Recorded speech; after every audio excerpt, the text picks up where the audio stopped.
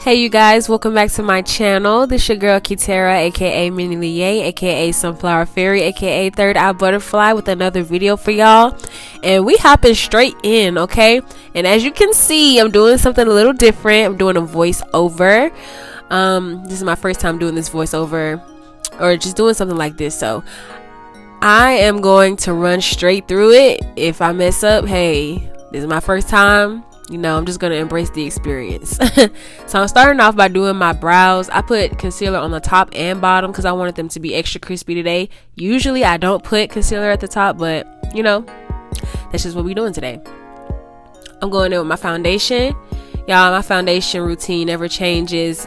Really, my entire face routine never changes. So, um, this will probably be the last video where I just post how I just go through my face routine because like I said, it never changes. Until it does, or if it does, then I'll update it. But as for right now, it's probably going to be the last one where I just show me going through the face. So right now, I'm just blending out my foundation. And after I blend out that foundation, I'm going to go in with some concealer under the eyes.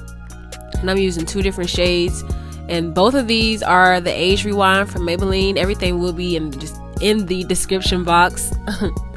so yeah, just taking that under the eyes and I'm gonna blend that out with a beauty sponge. And I actually got this sponge from um, Forever 21. I used to work there, so I got a lot of stuff from Forever 21. All my lip glosses that I use are from Forever 21.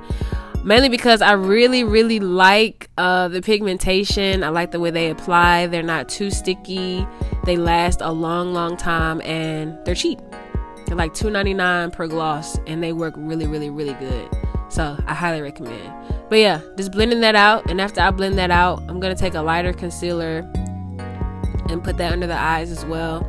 And I'm also putting concealer on my eyelids because I'm putting on eyeshadow and I want the color to really show up and really pop.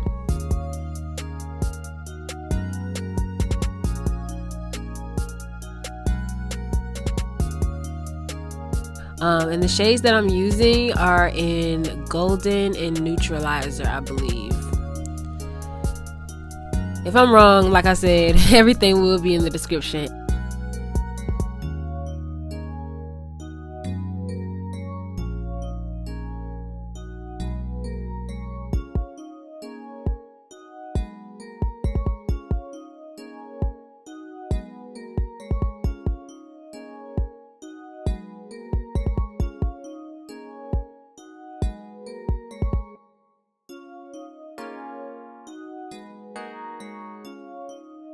I like blending with concealer a few shades lighter in my skin tone and then going in with a lighter one because I really really like a bright under eye. I really love how it looks. It's not necessary, you know, you don't have to do this. This is just what I like to do personally and that's what works for me.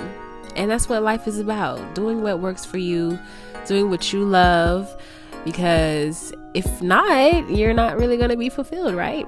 and I'm taking my Airspun powder and putting that in the areas where I put concealer, of course, under the eyes, on the bridge of the nose, all of that good stuff. And I know, you know, people don't really bake in no more. They just set, but I'm gonna bake. I'm gonna bake forever until I feel like I don't need to anymore.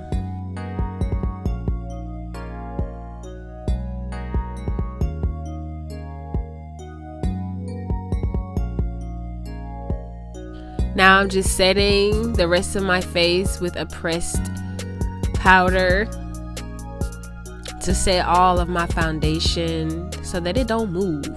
It don't move.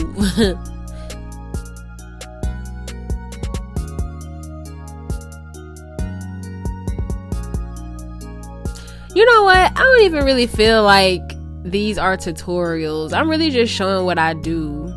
I'm putting that pressed powder over my eyelids too to set that. I wouldn't even call it a tutorial. I just I'm just showing y'all how I do my makeup really. If you want to do it, that's up to you, but I just like creating, so that's really what I'm showcasing. It's not necessarily a tutorial in my eyes. I just like to show you guys how I do my makeup because I do a lot of different looks because that's what I enjoy. I'm taking a light, like a mix between brown and orange. I said like a burnt orange shade and packing that all over my lid on both sides. And then I'm gonna blend it up a little bit just so that I don't leave any harsh lines. And now I'm taking some concealer with my finger and putting it in the inner corners of my eyes. And I'm gonna take a brush and further blend that out too. And the reason I'm putting concealer right here is because I'm putting a white eyeshadow. I'm putting a white eyeshadow on my inner corner and I really want that white to pop. And y'all gonna see throughout the video, like I keep packing that white on throughout the video just because I feel like I don't know. When I wear white eyeshadow, sometimes I feel like it doesn't pop as much as I would like. Like when I first put it on like here, it's really it's really showing up, but the further I get into my makeup, I feel like it just washes out. So maybe next time I should use like a lighter shade of concealer or maybe a white base to help it pop or maybe even just change the eyeshadow altogether to a different brand of white so that it's not as chalky maybe and just more pigmented. But yeah y'all gonna see me continuously packing this white on throughout the video. Now i'm putting on my liquid liner to create my wing. And when i do my wing i do one step at a time on each eye just to make sure everything is even. I feel like that's what works best for me. Because if I don't, it won't come out bad. It just won't be as symmetrical as I would like.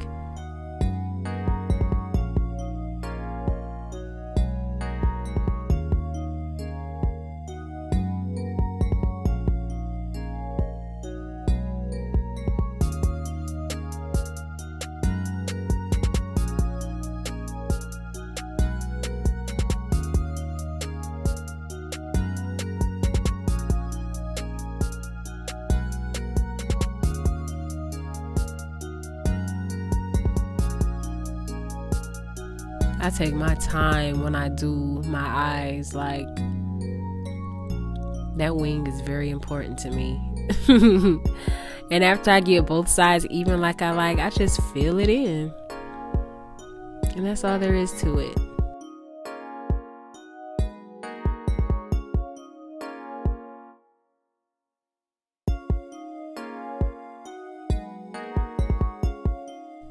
Here I am packing some more white on y'all. This was a bit irritating i'm not gonna lie. But hey i was i was determined to get this look the way that i wanted. Putting on mascara. Let me know what you guys think about this voiceover. Like i said this is my first time so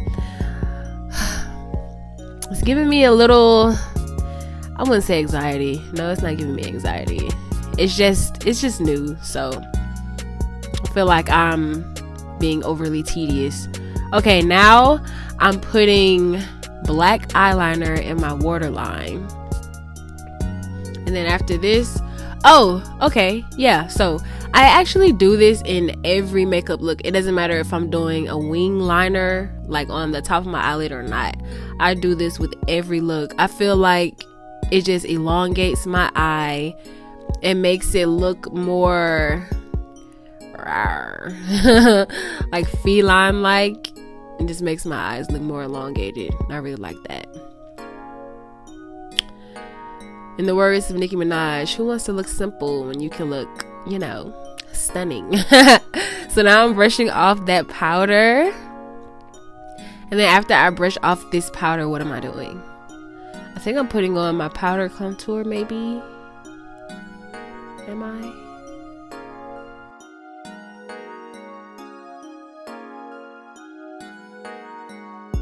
Oh no, I'm not even. See, okay, I'm filling in my brows again because I feel like when I put that powder on, it got washed out. Yeah. So that's what I'm doing. Now I'm taking some black liquid liner and just putting a line up to the middle of my bottom waterline. You know, creating something and taking some black eyeshadow and kind of smoking that out so that the line doesn't look so thin and scraggly.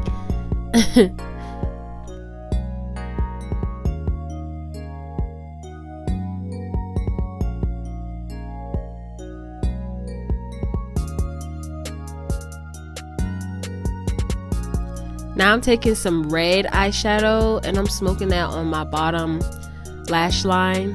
And I'm to also smoke it out on that line that I just created too. Just to smooth everything out. And then what I'm actually to do is end up um, smoking it up towards the wing that I created as well. Because I want this look to be really grunge and semi dramatic. So, yeah, there we go, blending it on that line.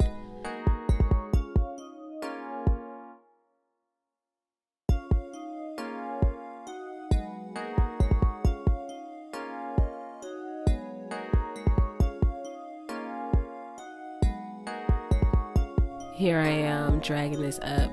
And you guys, I'm sorry if I if I sound a little stuffy.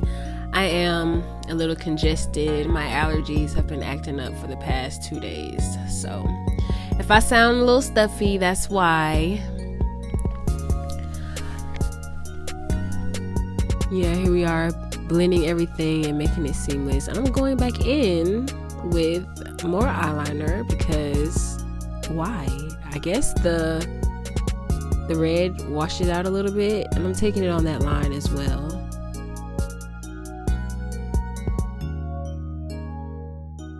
Here I am putting mascara on the bottom and our lashes coming next. I don't even know. Hopefully lashes are coming next. Or maybe oh, more white, you guys. more white. Wow.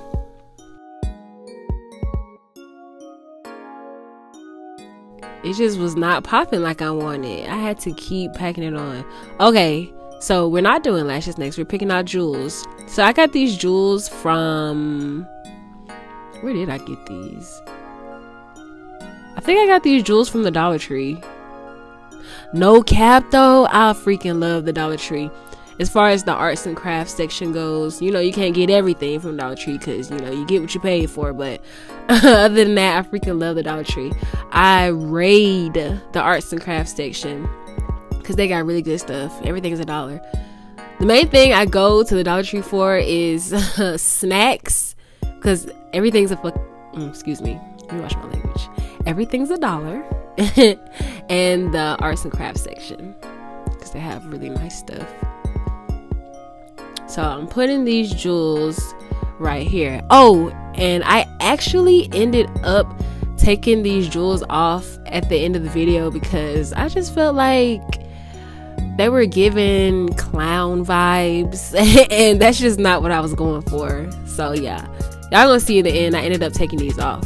But here I am putting my quote unquote powder contour on I used to cream contour way back when, but um, these days I just don't feel like it's necessary personally. So I just put powder on, and it I don't put a specific powder contour on. I usually just use eyeshadow and blush. So here I am. I saw this on Pinterest. It was either Pinterest or TikTok. But basically, you take the end of your mascara wand and then you just dot it on your face where wherever you want to put it, and it just gives this grunge look. And I really like that and I decided to try it. And I'm glad that I did because it came out pretty cool and I liked it. And I will definitely be incorporating this more into some of my makeup looks. So, yeah. Now I'm putting on lashes. Okay. One year later. so, I'm putting on these lashes that I got from Amazon. And I get all of my lashes from Amazon.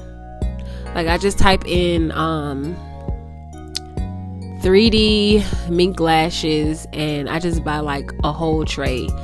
I buy like a tray of 20 for like $12. Something like that, but yeah, I get all my lashes from Amazon. And I'm putting these bottom lashes on. Oh, and here's a little a little trick. I cut up like a pair of lashes and then I use that as bottom lashes.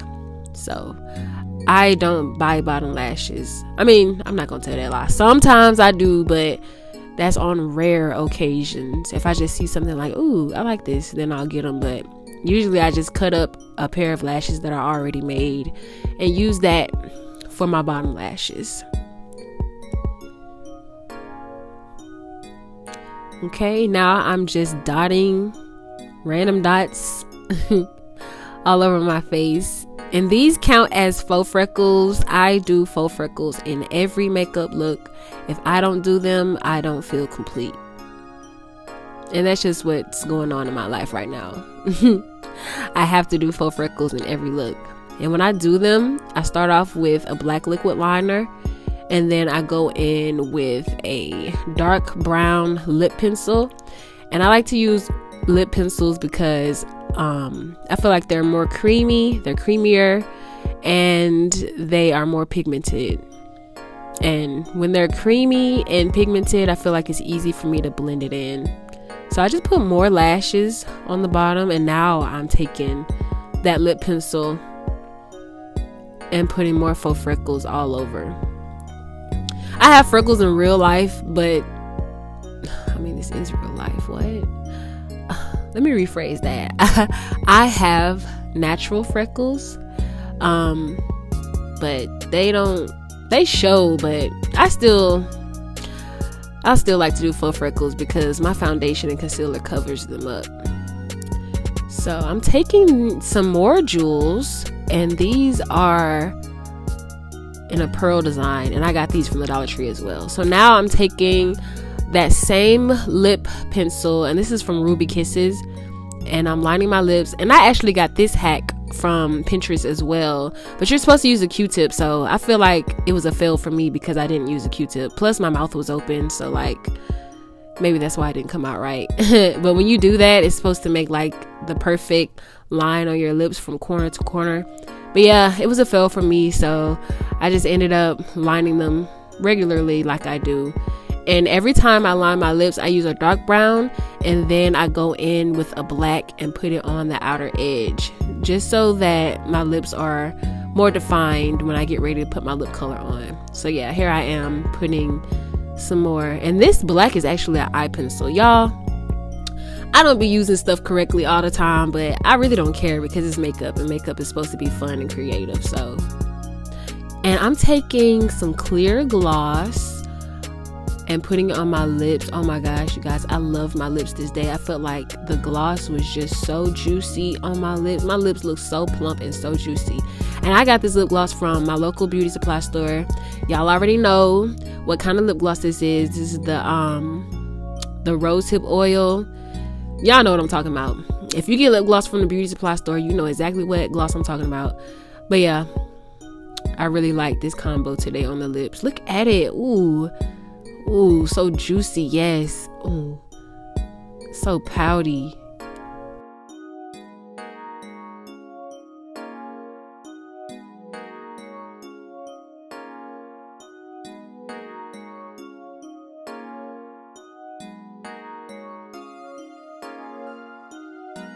I'm putting more of these pearl jewels on my face. So now I have them in the middle of my eye at the bottom, on my brow bone, and right here on the bridge.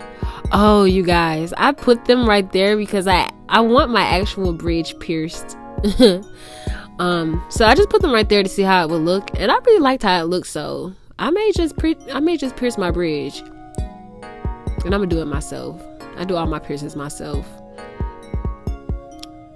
Okay, get it right. Come on. Get, get it right. There we go. So yeah, ooh.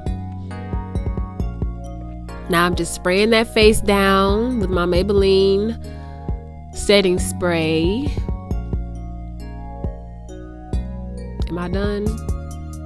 No. Oh my gosh. That damn white we go, putting more white on.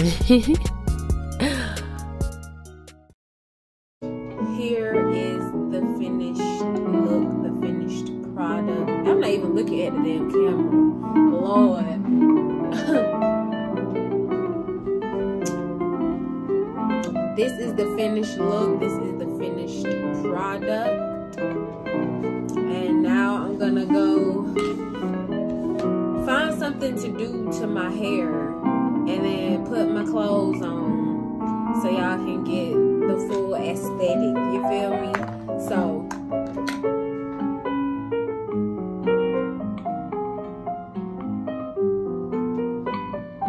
we just serving face. We just being creative. So here's the look. Here's the finished look actually. I ended up taking the red jewels off just because I feel like it was too much with the it was too much with the look so it's just looking like this now so hey we lit though we out here though